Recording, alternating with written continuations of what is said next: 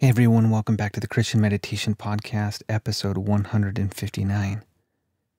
A freeform Christian meditation on Isaiah chapter 53, verses 1 through 3.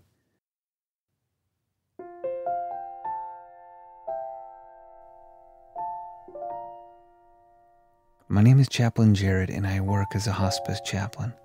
I've also worked at the ICU as a chaplain as well. My purpose in making this podcast is to help you to find more peace in your life and to be more open to be changed and influenced by the Spirit of God and to feel His love for you.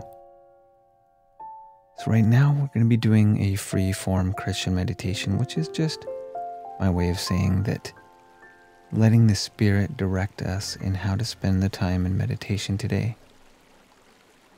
So find a place where you can sit comfortably for the next 15 minutes or so and close your eyes if you feel comfortable to do so.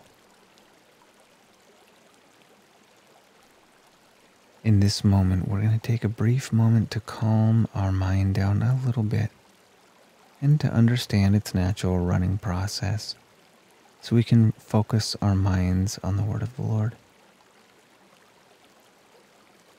In this moment right now, your body begins to unwind. You don't need to force yourself to relax. In fact, that's kind of a paradox. Just allow air to gently come into your body and out of it as you just practice unflexing the muscles in your neck, back, face, arms, hands, everywhere where you become conscious of it.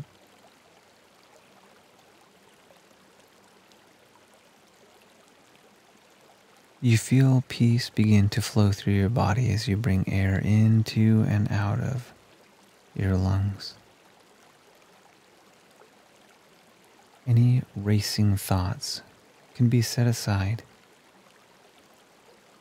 The focus right now is the Word of God.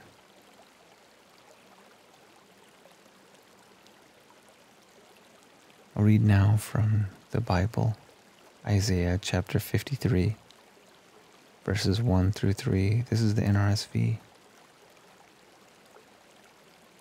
Who has believed what we have heard? And to whom has the arm of the Lord been revealed? For he grew up before him like a young plant, and like a root out of dry ground. He had no form or majesty that we should look at him, nothing in his appearance that we should desire him. He was despised and rejected by others, a man of suffering and acquainted with infirmity. And as one from whom others hid their faces, he was despised, and we held him of no account. I invite you to spend the next 10 minutes with the message God has for you. Perhaps you spend the time in silent reflection on this scripture or this message, perhaps you pray whatever God puts it upon your heart to do, draw near to Him